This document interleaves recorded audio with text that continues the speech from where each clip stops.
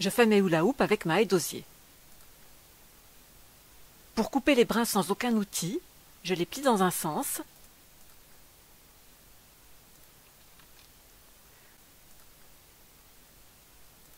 et puis dans l'autre jusqu'à ce que ça casse.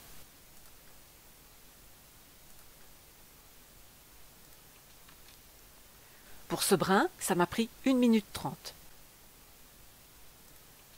J'enlève les feuilles. J'enlève l'écorce pour qu'on les voit bien sur la vidéo. Je prends six brins. Je plante le brin 1 dans le sol et décalé de 1 sixième de tour, je plante le brin 2 dans le sol, par-dessus le brin 1, et je le fais passer dessous, puis dessus. Même chose avec le brin 3, par-dessus le brin 2, planté,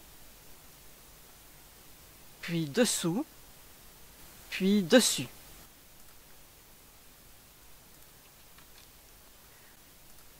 Même chose avec le brin 4, par-dessus le brin 3, puis planter.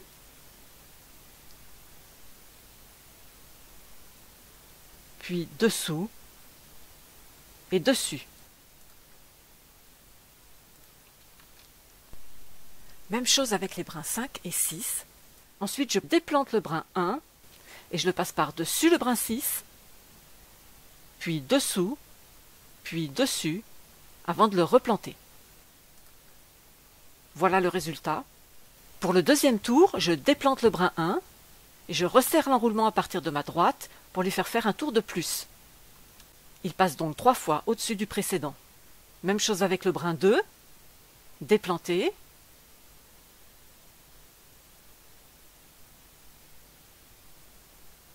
et un tour de plus.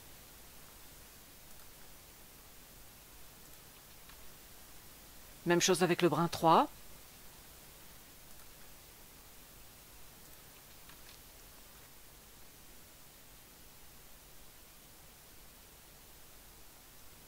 et avec le brin 4.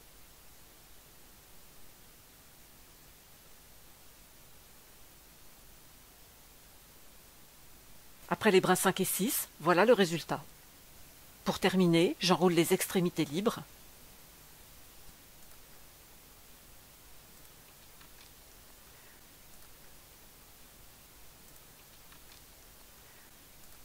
Et voilà.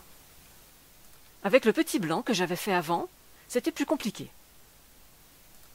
Mon préféré, c'est mon grand brun. Et le record, c'est le petit brun. 21 minutes non-stop. Mais pas avec moi. Si tu aimes cette vidéo, éteins ton ordinateur et sors chercher des brins d'osier.